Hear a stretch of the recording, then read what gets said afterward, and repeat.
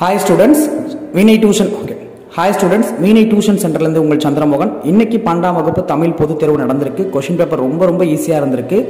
Expected question தான்.